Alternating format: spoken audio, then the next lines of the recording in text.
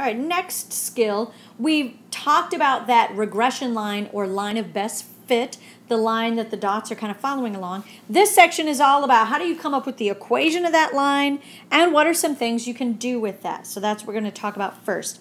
The line regression line equation is always in the format we say A equals uh, sorry, y equals ax plus b. And you might see all those letters and think, well, I can't do algebra, but you, you can't.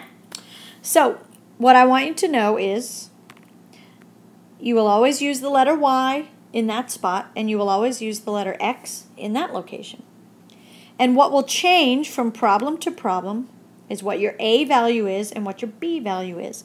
And the A value is the slope of that line. That's a number that indicates how steep that line is. If it's positive, you have an uphill line.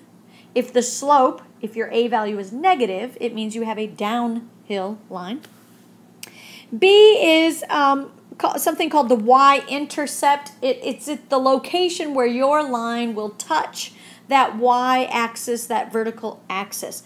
Uh, your technology is going to come up with the regression line equation for you. You just have to understand how to pull it from the technology and make sense from it. So let's go to the calculator with an example. All right, this picture, this uh, graph should be familiar to you. We started the chapter with it.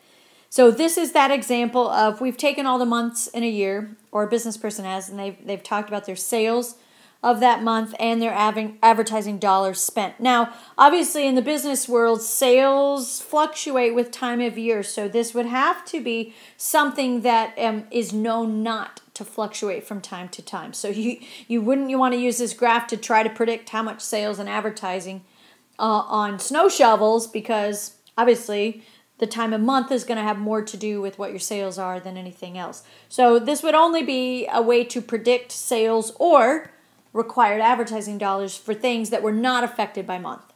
Okay, so let's go ahead and talk about how to get that regression line equation from this information.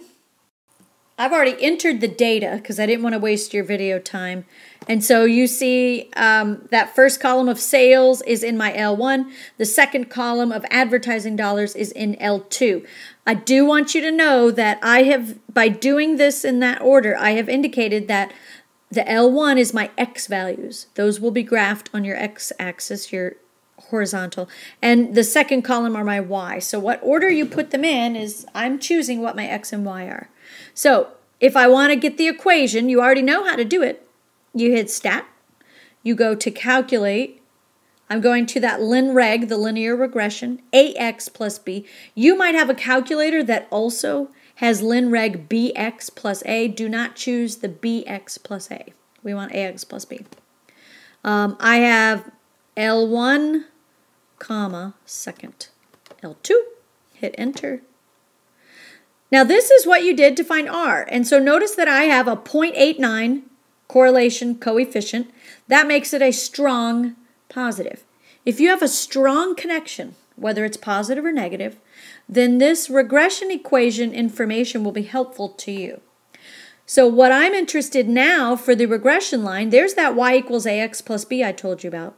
What they're giving you is, what's the a value? They're giving you the number to put in for a, and they're giving you the number to put in for b.